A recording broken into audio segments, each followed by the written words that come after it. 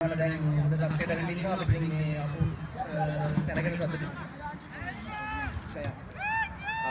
Grand මහතා දැන් කණ්ඩායමේ නායක හැටියට දැන් ඔබ පැවසුවා වගේම මේ කණ්ඩායම් තරගයක් ඇතර ක්‍රිකට් කියන්නේ මුළු කණ්ඩායමම එක වගේ ක්‍රීඩා කරන්න ඕන. ඔබගේ නායකත්වයට ඔබ කිව්වා කාලයකට පස්සේ තමයි මේ ඩිවිෂන් 2 එකේ අවසාන තරගයට පැමිණෙන්නේ කියලා. ඔබගේ කණ්ඩායමේ අනිකුත් ක්‍රීඩකයන් ඔබට ලබා දුන්න උදව්ව සපෝට් එක කොහොමද මේ අවස්ථාවට පැමිණෙන්නේ? ඔව් විශේෂයෙන්ම පිටිකරුවන් හොඳ කාර්යභාරයක් ඉටු කරා. ඒ කියන්නේ හොඳ ලකුණු සංඛ්‍යාවක් මුලින් එයාලා ලබා ගත්තා.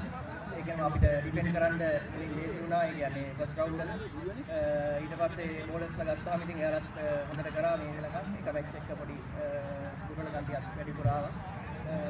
සමස්තයක් වශයෙන් ගත්තාම ඉතින් හොඳට හැම කෙනාගේම උදව් ලැබිලා තියෙනවා. තමයි දැන් මේ තරගයේදී ඔබට ඔබගේ කණ්ඩායමට පිටිහල් දෙන අවස්ථාව ලැබුණොත් මොන වගේ ඉලක්කයක් කරා යන්නද අදහස් කරන්නේ?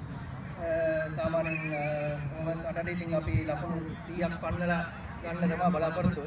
මොකද හොඳට ලකුණු තියෙනවා තාම ග්‍රවුන්ඩ් එකේ. ඩෑම්ප් එකක් නැහැ. එච්චර ඉතින් නේද හොඳ ලකුණු ගානකට යන්න පුළුවන් කියලා හිතනවා. හොඳ තමයි අපේ සුබපැතුම් අවසන් ක්‍රීඩාව. හොඳයි මේ අවස්ථාවේදී ධනුක මාතා ඉන්නවා වේරියන්ස් කණ්ඩායම වේරියන්ස් කණ්ඩායමේ නායකයා වේරියේෂන්ස් වේරියන්ස් කණ්ඩායමේ නායකයා